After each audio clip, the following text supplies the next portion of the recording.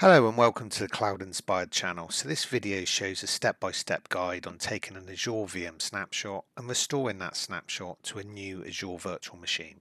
So a snapshot is a read-only copy of a virtual hard disk or VHD and you can use a snapshot, for example, if you're installing, upgrading new software, or making a configuration change where you want to take a point in time copy of the operating system and have the option to roll back to the original state of the operating system in case there are issues with that change. You can take a snapshot of both the operating system or the data disks.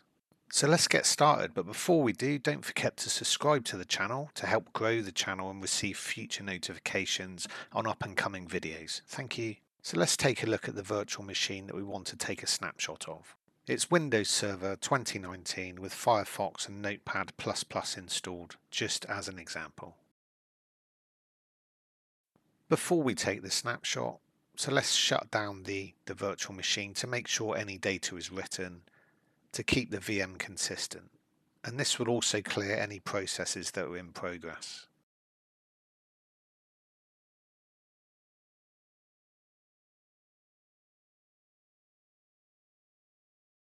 Okay, good. So now we can take a snapshot by searching for snapshots in the Azure portal.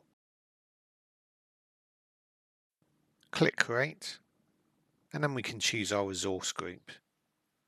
So we give it a name to clarify this is going to be a full snapshot of a disk with the virtual machine in the name we are taking the snapshot of. We do have a choice of the source of the snapshot, either a disk or a snapshot. So if we choose a snapshot as a source, we don't have any created yet, so none appear in the list. Uh, but this is possible to take another snapshot of an existing snapshot. So we will choose disk and full, not incremental at this stage and we will also choose standard HDD for the storage type as we don't want the snapshot disk that, that's created to have any zone redundancy. We will then choose the default encryption type. We will require full public access. Then we create the snapshot.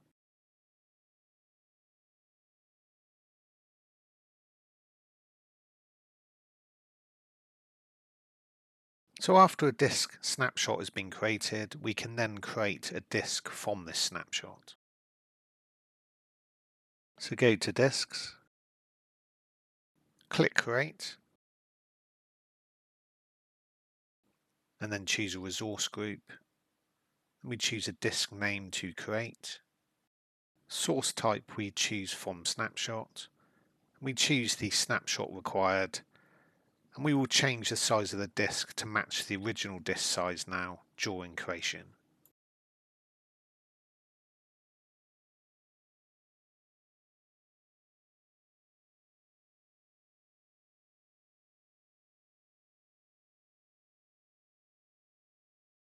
We will then choose the default encryption type.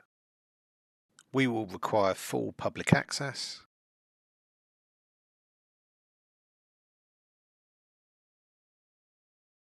and then we create the disk.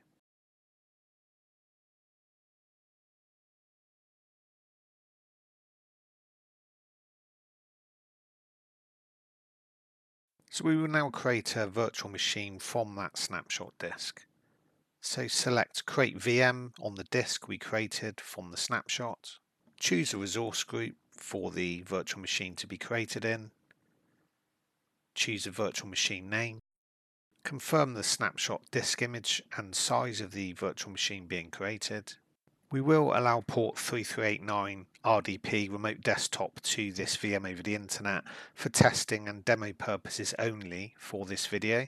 So this isn't recommended for live production environments um, as the VM will be exposed to the whole internet. So you would need to lock it down to a source IP or use an Azure Bastion, for example, for security and choose your licensing requirements. Keep the disks and networking as default for this demo, and then let's create the VM.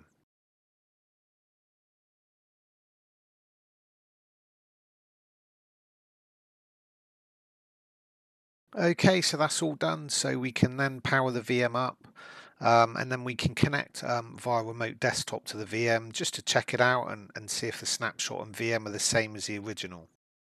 Okay, so that's how to take an Azure VM snapshot. Thank you very much for watching the video. Please don't forget to subscribe to help grow the channel and get notification of future up and coming videos. Okay, take care and bye for now.